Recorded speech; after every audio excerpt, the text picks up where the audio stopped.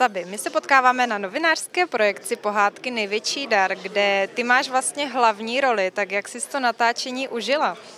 To natáčení jsem si užila strašně moc, víc než jakákoliv jiná natáčení, protože se natáčelo na Valašsku.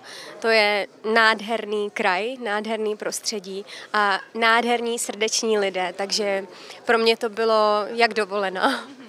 No ty jsi hrála třeba s Bolkem Polívkou, eh, s jeho bývalou partnerkou Šantal, s Jiřím Dvořákem, tak jaké bylo i tady tohle herecké setkání? To bylo, to si nemůže člověk přát nic víc, než takový bardy kolem sebe.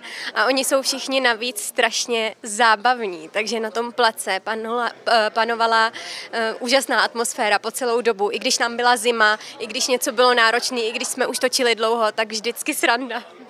No já jsem si procházela trošku tvůj Instagram a ty tam máš napsáno, že jsi tam potkala důležité lidi, nějaké, že jsi ani nevěděla, že je potkáš, tak můžeš to trošku specifikovat. Tak pro mě to byl především David Stipka, úžasný hudebník, zpěvák a především člověk, který bohužel eh, v průběhu natáčení eh, zemřel. A ten je pro mě úplně nejdůležitější asi eh, ze všech.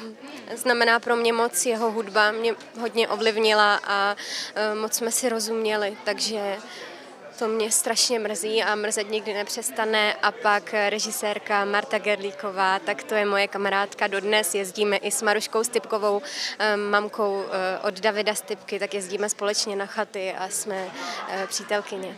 A vy jste se teda seznámili až při tvorbě tady té pohádky, nebo vlastně už někdy dřív, protože ten umělecký svět je v uvozovkách stále malý?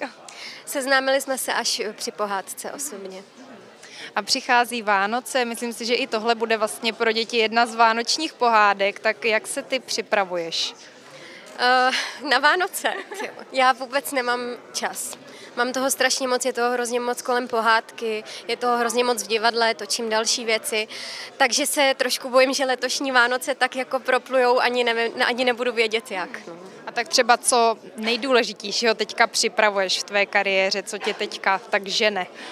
Tak já jsem pořád v divadle na Vinohradech, to je pro mě hodně důležitý, snažím se tam vykonávat co nejlepší práci a uh, točím pro novu nějaké seriály, které mi dělají radost, takže pořád je co dělat a uh, dělám pořád dubbingy, každý den dabuju, to je všechno pro mě strašně důležité.